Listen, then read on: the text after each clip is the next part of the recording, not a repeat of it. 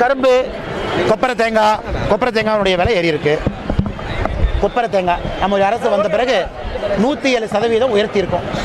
ஐம்பத்தி நாலு ரூபாலேருந்து நூற்றி ஏழு ரூபா. ஆனால் தேங்காயோட விலை குறைவாக இருக்குது நாலு ரூபா ஆறு ரூபா எட்டு ரூபா. கரும்புக்கு அதே பிரச்சனை. மத்திய அரசை பொறுத்தவரை குறைந்தபட்ச ஆதரவு விலை என்பது நாம் வந்த பிறகுதான் ரெண்டு மூன்று பொருட்களுக்கு மட்டும் இருந்ததை இன்றைக்கி இருபத்தி ஏழு பொருளுக்கு கொண்டு போயிருக்கோம். நான் மாநில அரசு கொண்டு சொல்கிறக்கூடிய ஒரே ஒரு இது என்னென்னா கொப்பரை விலை நூற்றி ஏழு ரூபா கிலோ. நீங்கள் தேங்காயை வாங்குங்க. பதிமூணு ரூபா பதினாலு ரூபாய்க்கு வாங்குங்க. அதை கொப்பரை தேங்காயாக மாற்றுங்க அதை மினிமம் சப்போர்ட் ப்ரைஸ் குறைந்தபட்ச ஆதரவு விலையில் நூற்றி எட்டு ரூபாய்க்கு எடுத்தால் விவசாயிகளுக்கு லாபம். இந்த மாதிரி யோசிங்க. கரும்புக்கும் அதே தான். அனைத்து விஷயத்துக்கும் நம்முடைய மத்திய அரசு கூட இருக்காங்க. ஒரு ஒரு வருஷமும் ரெண்டு டைம் அதாவது ஆறு மாதத்துக்கு ஒரு முறை குறைஞ்சபட்ச ஆதரவு விலையை ஏற்றுவாங்க எல்லா வருஷமும் நீங்கள் பார்க்குறீங்க டூ டைம்ஸ் அது நடக்கும். அது தொடர்ந்து நடந்து கொண்டிருக்கிறது அது நடக்கும். அதில் எந்த மாற்று கருத்தும் இல்லை. நிறைய ஏன்னா ஆனால் தக்காளி விலை உயர்ந்திருப்பதற்கு பாஜக இல்ல எல்லோருமே போராட்டம் நடத்தணும்.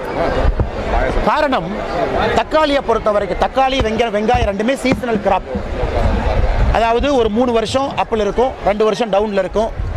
டவுனில் இருக்கும்போது விலை உயரும். இந்தியாவில் தக்காளி வெங்காயத்தினுடைய விலை உயர்வு என்பது கடந்த ஐம்பது ஆண்டுகளாக பார்த்துக்கிட்டு இருக்கோம். அதற்கு மாநில அரசும் மத்திய அரசும் என்ன நடவடிக்கை எடுக்கிறாங்க என்பதுதான் கேள்வி.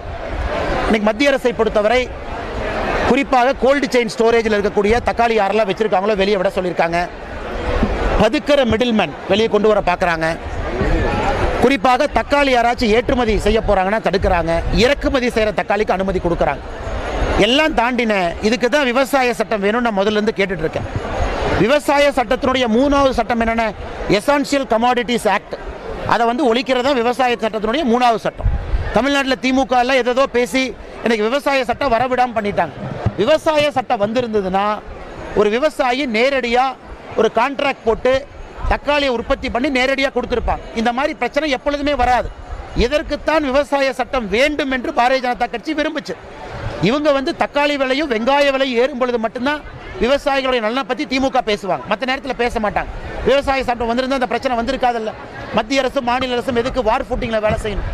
இதற்குத்தான் நாம் கேட்கின்றோம். விவசாய சட்டத்தை கொண்டு வந்து எல்லா பொருட்களையும் விவசாயிகளையும் இடைத்தரகள் இல்லாமல் கம்பெனிஸ் நிறுவனங்கள் வாங்கக்கூடிய மனிதர்கள் இவர்களோடு ஒரு கான்ட்ராக்ட் போட்டு அனுமதி கொடுத்தீங்கன்னா அவங்க ஃபார்வேர்டு ஃபார்காஸ்டிங் பண்ணி தக்காளி ஆறு மாதம் கழித்து வேணும்னு இன்னைக்கே அந்த விளைச்சலை பண்ண சொல்லுவாங்க.